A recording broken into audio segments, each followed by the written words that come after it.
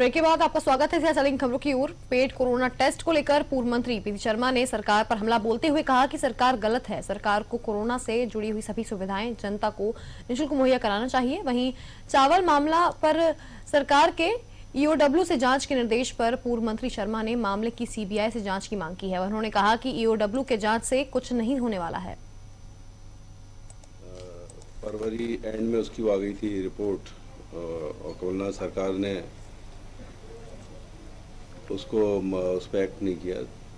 इसके मंत्री थे प्रद्युम्न तोमर उस समय। ये खुद भाग गए थे बेंगलोर बेंगलोर का जो डिपार्टमेंट का मुखिया ही भाग गया है वहाँ से तो वहाँ कौन सा एक्शन होता?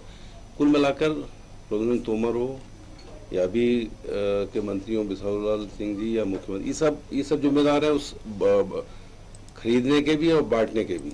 हर तरह से ये लोग उसके जिम्मेदार हैं। और इसकी ईओडब्ल्यू से आज कुछ नहीं होगा। इतने आदिवासियों, गरीबों को जो घटिया चावल आपने खिलाया है, एक तो उन लोगों को जिनको चावल घटिया खिलाया है, उसमें कोई बीमार पड़ा है तो उसकी भी जाँच हो और उसको मुआवजा दिया जाए और सीबीआई जाँच हो।